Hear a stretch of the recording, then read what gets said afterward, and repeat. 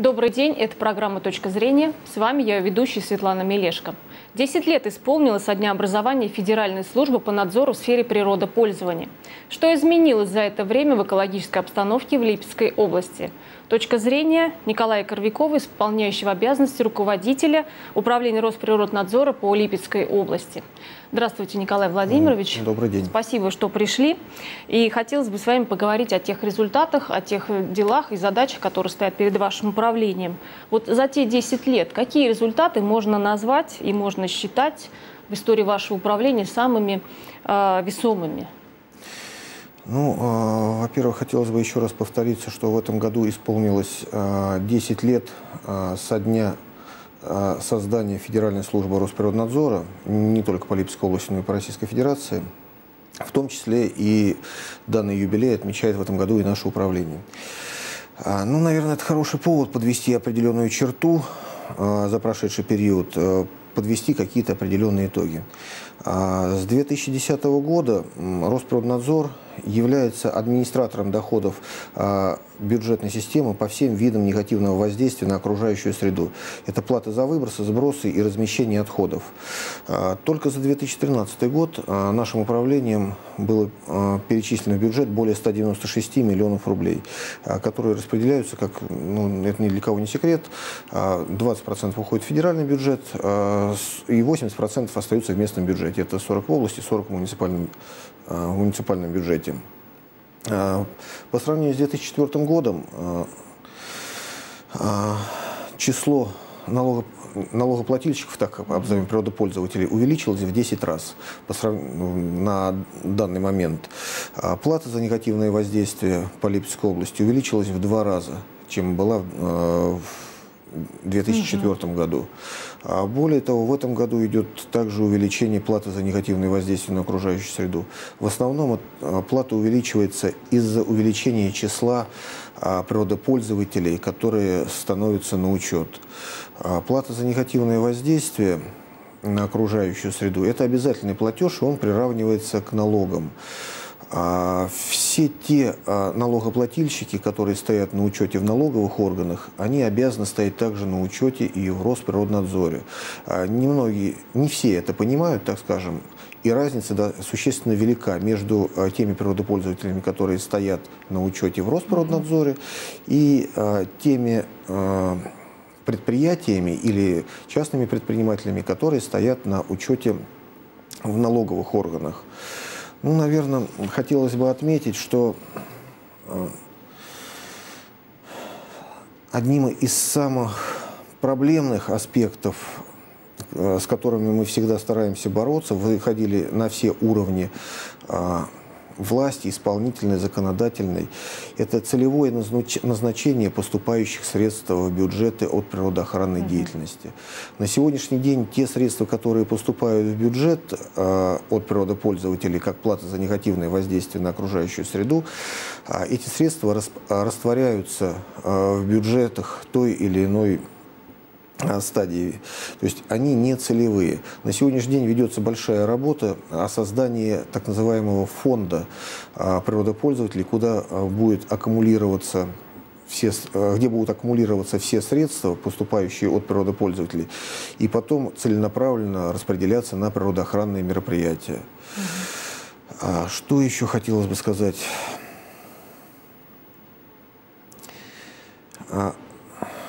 Ну, в принципе, наверное, достаточно большое достижение а, в природоохранных мероприятиях – это то, что а, сброс в реку Воронеж практически прекращен Новолипецким металлургическим угу. комбинатом.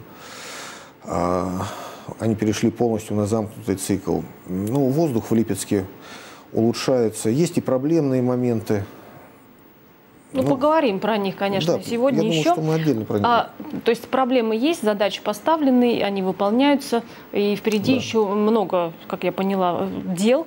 А вот насколько эти ваши реальные усилия уже воплотились в реальное улучшение качества окружающей среды? Ну, я могу сказать только одно, что э, есть показатель нашей работы. Ну, наверное, я здесь скажу так, что по данным Росгидромета в Липецке а, комплексный индекс загрязнения атмосферного воздуха – это наиболее объективный и научно обоснованный показатель уровня загрязнения воздуха. За 13 лет э, произошли улучшения. Э, э, индекс КИЗа с 2000 по 2013 год снизился с 25 до 5,1 единицы. То есть он снизился практически в 5 раз. Да. Ну, это нельзя сказать, что у нас экология улучшилась в 5 раз, как иногда комментируют это. Это немножко другое. Индекс, да, уменьшился? Да. Ну, это, это понимают экологи, инженеры, Абсолютно верно. Также еще можно сказать, э, что, а, э, допустим, за 2013 год э, он снизился с 8,1 до 5,1 единицы. То есть уменьшение индекса КИЗа, оно постоянно замечено. Вместе с тем, можно сказать, то, что список городов Центрального Черноземья с умеренно повышенной степенью загрязнения воздуха. Также входит Тамбов. Индекс КИЗа его составляет за 2013 год 6,2, 5,2, извиняюсь, и Белгород 6,7. Ну, в принципе...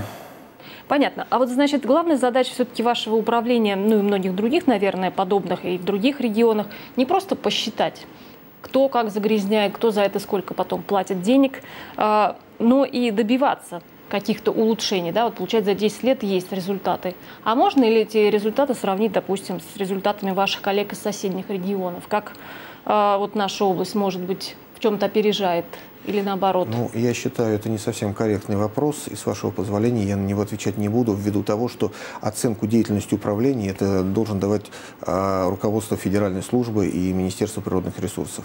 Угу. Поэтому, с вашего позволения, на данный вопрос я отвечать не буду. Хорошо. А насколько результаты вот по надзору за деятельностью природопользования в Липецкой области отличаются от общероссийских? Наверняка же вы подводите какие-нибудь да, мы... таблицы на коллегиях подводим на коллегиях обязательные итоги. Ну, а по статистическим данным Липецкое управление, оно никогда не было, так скажем, ни в хвосте по регионам, ни в начале. Мы всегда входили в десятку областей по показателям, по показателям которые с нас требует федеральный центр. Ну, вам приходится каждый день ездить на проверки, на обследование, да, выносить предписания вашим да. сотрудникам управления? Наши сотрудники каждый день выезжают на проверки.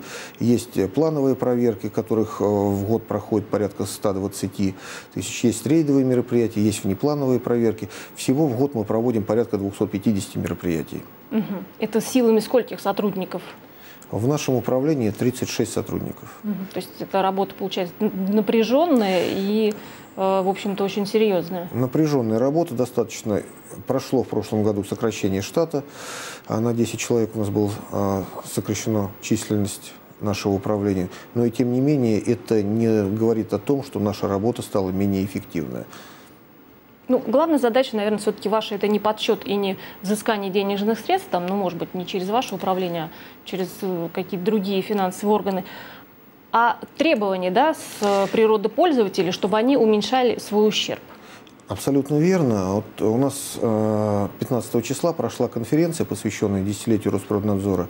И в своем выступлении на конференции я подчеркнул, что на сегодняшний день э, нами перед сотрудниками ставится задача, и также э, федеральным центром перед всеми территориальными органами ставится задача о профилактике среди природопользователей а, мероприятий, которые бы улучшали природоохранную, извиняюсь, не улучшали, а соблюдали природоохранное законодательство, тем самым улучшали экологию данного субъекта. Угу. А вот какие экологические проекты, ну, на ваш взгляд, определили улучшение экологической ситуации за последние 10 лет в Липецкой области?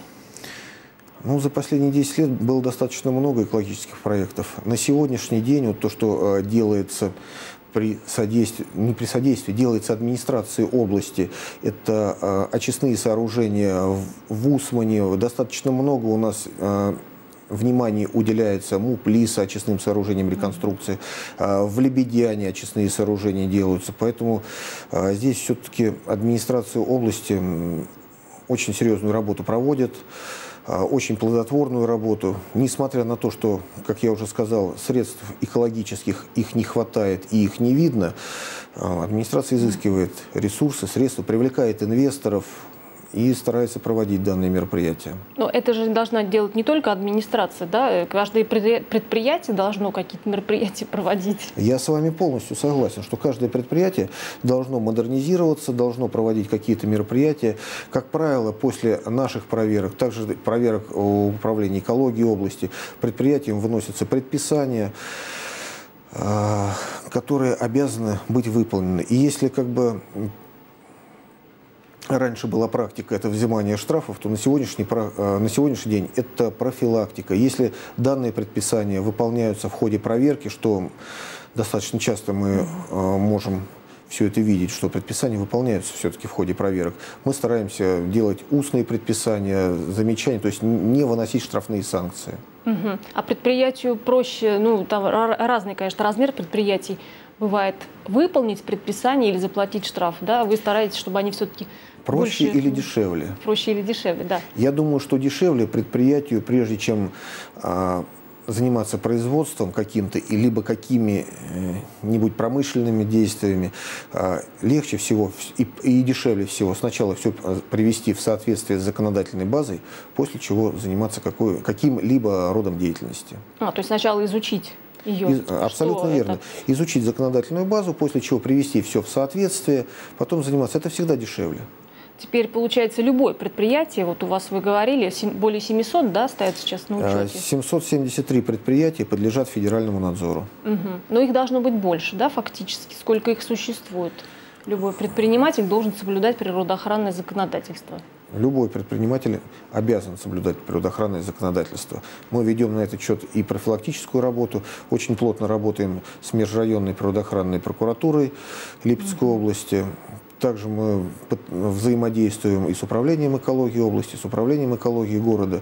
Вот на сегодняшний, сегодня с утра у нас проходило совещание по поручению а, Николая Федоровича Тагинцева по очистке городских лесов, так называемых. Там очень много вопросов, есть прорехи в законодательстве, потому как эти леса являются федеральной собственностью, находятся на территории города, а откуда там должны выделяться средства на уборку, непонятно. Но ну, как бы пришли к общему мнению, что а, будем проводить субботники силами управлений своих же, привлечением а, детей из школ, с институтов, то есть организовывать субботники. Угу. на общественных началах, будем заниматься уборкой территорий городских лесов, потому что проблема действительно есть, и если прогуляться по лесному массиву города Липецка, ну, ситуация не совсем хорошая. Неприятная. Ну, поговорим еще про примеры сотрудничества с крупными предприятиями, которые, естественно, у всех на виду. А, вот Новолипецкий комбинат реализует экологические программы. То есть это тоже с вами в сотрудничестве да, с Росприроднадзором? Ну, я бы не ну, сказал... Ну, не то, что сотрудничество, но, по крайней мере, под контролем, под надзором. Обязательно, конечно. У нас в 2012 году э, я вот на всякий случай по... ждал я этого вопроса, ожидал, так скажем. Я взял справочку небольшую.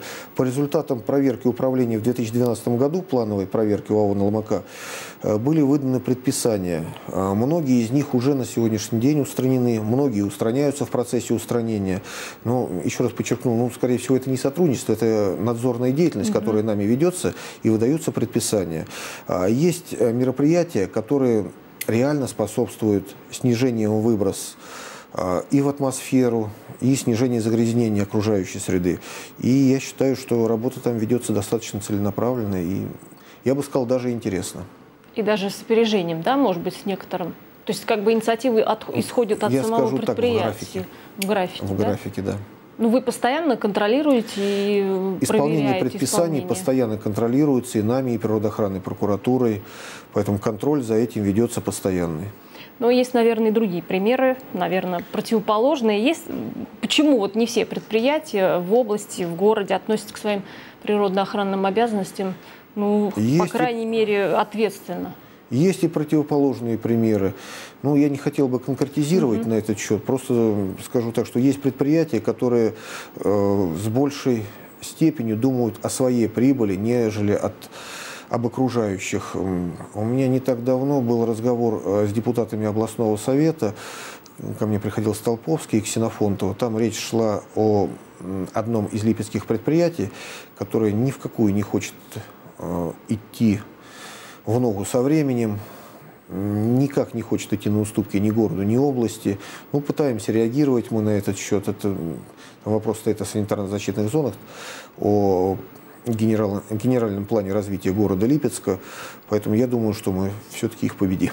Угу. Ну, у вас много для этого есть э, рычагов воздействия, да? Есть рычаги воздействия для этого. Стараемся применять все возможные силы.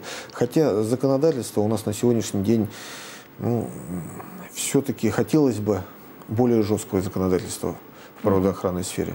А насколько крупный может быть самый, вот, самый крупный штраф или наказание? Самое крупное наказание, наверное, оно в Липецке очень редко применяется, так скажем, это приостановка действия предприятия до 90 суток. Угу. Но вы пока к таким мерам никогда не Нет, прибегали это мы еще. прибегаем через суд к этим мерам. Угу. То есть мы выдаем предписание совместно с прокуратурой, подаем в суд, и после чего выдается предписание о приостановке э, данного предприятия. Ну а тогда штрафные санкции, которые могут э, отрезвить руководителя предприятия, какого должны быть, может быть, размера? Сопоставимо, наверное, да, с уровнем экономической деятельности? Ну, в принципе, да. Там э, штрафные санкции идут как на физи... сначала на физическое лицо, потом на юрлицо, на должностное лицо и потом на юридическое лицо. Конечно, на юридическое лицо самые максимальные штрафы. Угу самые максимальные штрафы. Ну, это исчисляется, мне просто хочется понять, каким порядком цифр. 100 тысяч рублей или, ну, может быть, сотни? Я вам сейчас этого не могу угу. сказать по одной простой причине, что нарушения могут быть разные. Нарушения могут быть как в недропользовании, так и в выбросах. Поэтому цифры могут разниться очень сильно. Угу. Ну, в общем-то, 190 миллионов, правильно я поняла? У нас э, в целом собирается за год сумма, да, оплаты за... Более 196 миллионов 96. за прошлый год. Это не секретная цифра, она есть на сайтах везде, поэтому ее можно озвучивать. 190, более 196 миллионов за прошлый год было собрано плата за негативные воздействия. Угу. И если бы, наверное, предприятия знали, что эти деньги идут уже на точно на оздоровление экологической обстановки, да, был бы какой-нибудь специальный закон или фонд, как вы да. говорили, наверное, было бы более Я думаю, прозрачно. что было бы более прозрачно. Возможно, предприятия, природопользователи, наверное, а, более охотно, что ли, платили бы и более, тщат... более трепетно относились а, к данным платежам.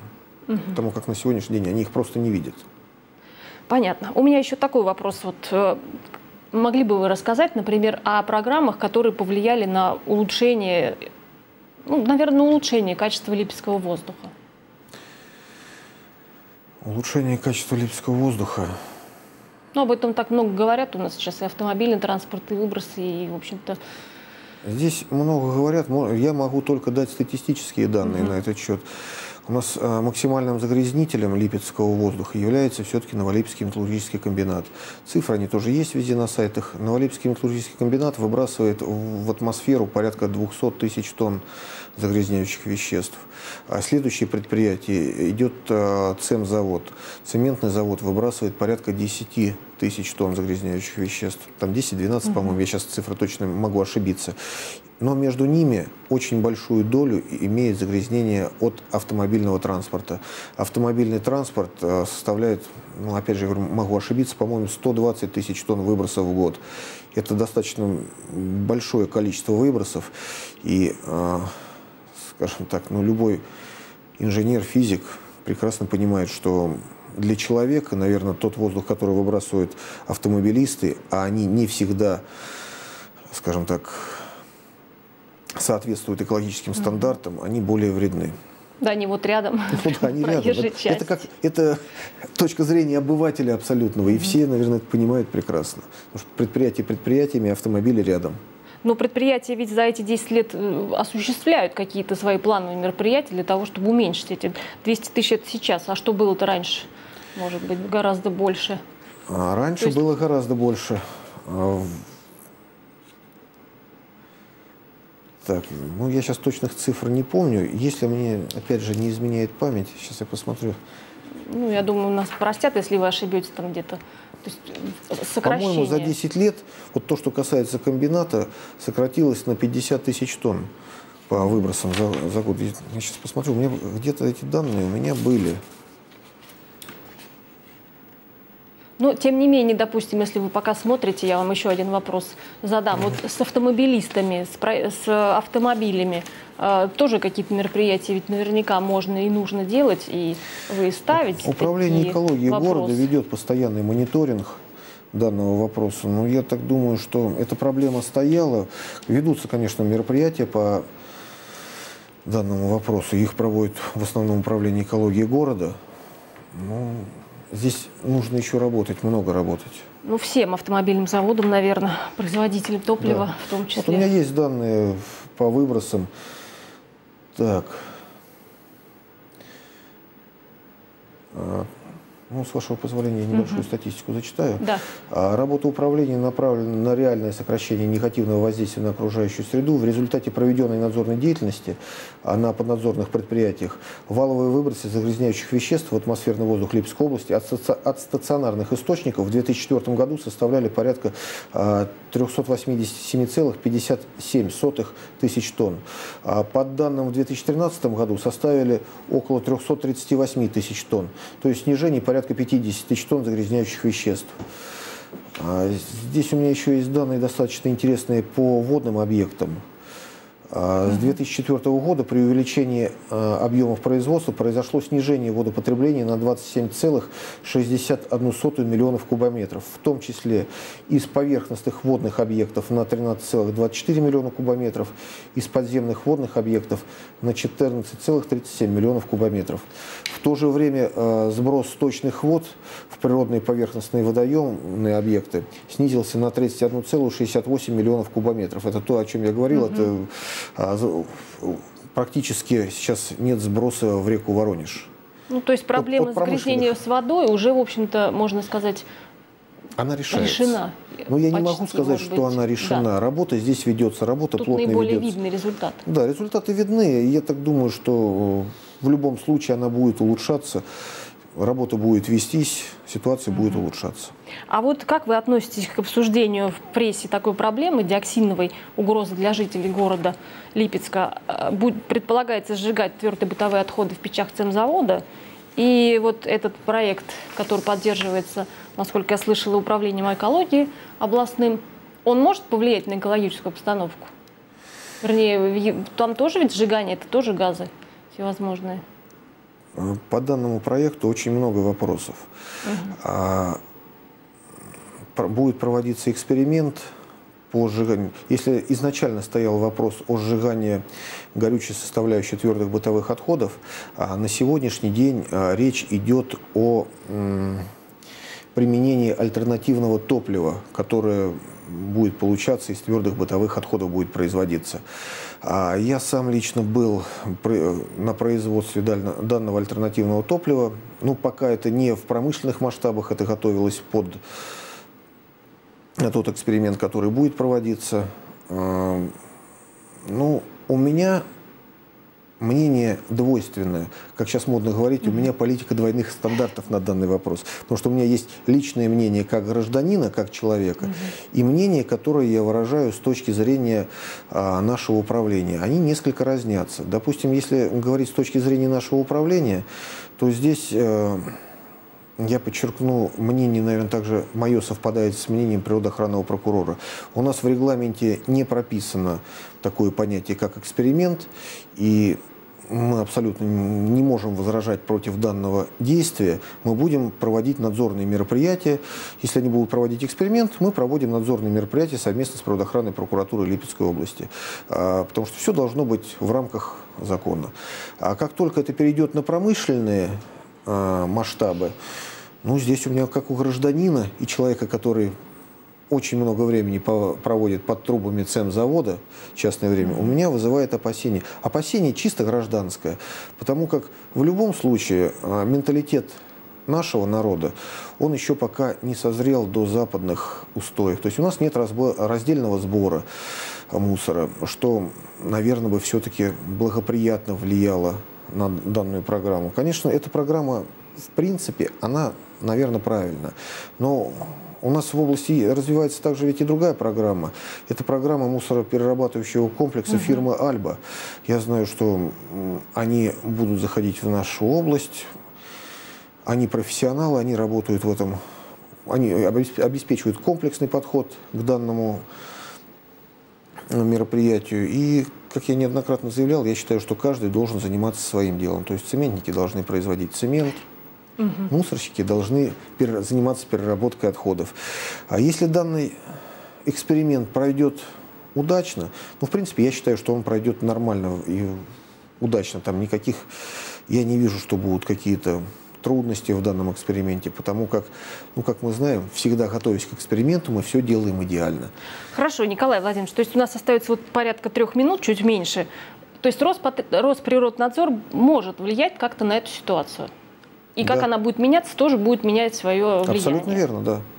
Мы будем по этому поводу осуществлять жесткий надзор, будем привлекать, нам в прошлом году э, передали из ведомства Ростехнадзора э, лабораторию, это федеральное бюджетное учреждение, Центр лабораторного анализа технических измерений, э, передали в их ведомство, силами этой лаборатории мы будем наблюдать за выбросами и стараться принимать все необходимые меры при это не, необходимые меры недопущения загрязнения атмосферного воздуха. При необходимости будем достаточно жестко реагировать, потому что я беседовал персонально по этому вопросу с Кощеевым. Будем жестко реагировать, достаточно вплоть до приостановки экспериментов у меня последний вопрос, вот ответ вам на одну минуту, если дадите. Какие еще острые проблемы сегодня вот находятся в сфере вашего особого внимания, Росприроднадзора? Просто назовите их и над чем вы будете дальше работать. Это злободневная. Есть проблема злободневная. Ну, допустим, это на сегодняшний день проводится работа по снижению выбросов сероводорода а, как от ООО ЛМК, так и на других предприятиях области. Есть проблема, требующая решения с размещением и переработкой отходов сельскохозяйственного производства. А, сделано здесь много, но предстоит сделать, в принципе, еще больше. Проблема есть, работа в этом плане ведется. Я думаю, что с течением времени многие проблемы будут сняты. Спасибо большое за интересную беседу, Николай Владимирович, за то, что пришли. Это была точка зрения Николая Корвякова, исполняющего обязанности руководителя управления Росприроднадзора по Липецкой области. Всего доброго, до свидания.